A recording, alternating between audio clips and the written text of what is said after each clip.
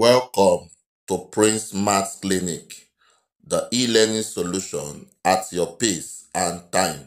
Good day and welcome once again to class. Today we shall be considering this very interesting algebraic statement on the board. And one reason why this algebraic statement is interesting is that 99% of people who attempt this question miss it on their first attempt. And why do they miss it? They miss it because this question is too simple to assume to what to be technical. Let's go right into the solution. This is 3 pi divided by 3 pi. This is an algebraic statement in the sense that 3 pi means 3 times pi. Now that you know it means 3 times pi, let's rewrite this question. 3 pi divided by 3 pi will be equals to 3 times pi divided by 3 times pi. At this stage, we need to introduce the law of precedence or order. And what does that law say? It says in any mathematical operation, you treat bracket first before off, then division, afterwards multiplication, then addition, and lastly subtraction. In some other material, you have it as PEMDAS or PEMDAS. So in this case, this is what bracket entails. Off, division, multiplication, addition, and subtraction. Where this bracket of and multiplication means all means multiplication. But there is a way to apply it in solving questions that involve these operations.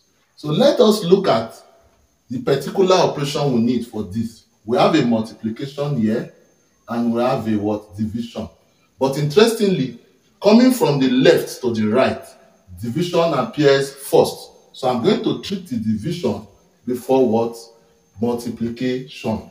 But interestingly, both division and multiplication, right, have the same what consequence, meaning that you can treat any of them first. But see what I'm going to do. This is what 3 times pi. Then this division, I'm still going to write it like this. Then multiply by pi. 3 here cancels out 3 here. So I have pi multiplied by pi. And pi multiplied by pi is the same thing as pi squared. And pi is having a value of 3.14 multiplied by what? 3.14. And if you multiply this together, you are going to get 9.8596.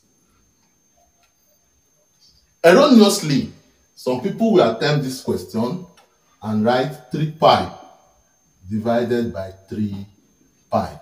And they say 3 pi cancels 3 pi to give 1. No, it's not correct. To verify what I've just done, kindly visit Wolfram Alpha Calculator.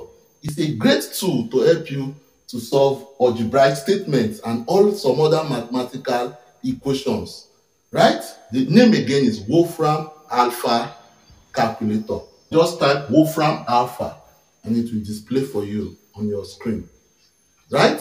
What I've just done is displayed on the screen for you to verify. I hope this class was helpful. Kindly share it with your friends and loved ones.